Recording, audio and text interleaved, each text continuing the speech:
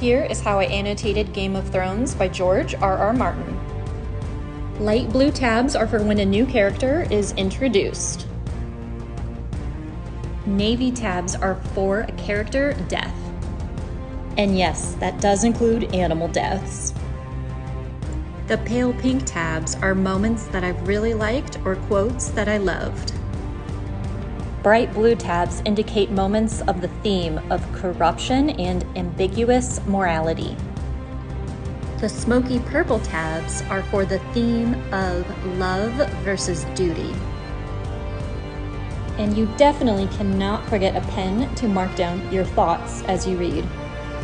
My key in the beginning of the book helps me remember all of the colors and what they signify.